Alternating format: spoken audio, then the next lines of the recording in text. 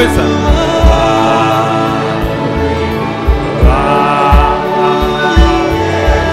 Oh.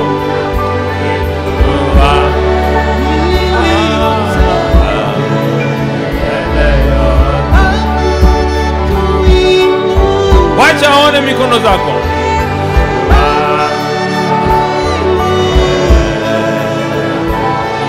He's on the right hand of the Father. Jesus Himself. Let Him see your hands.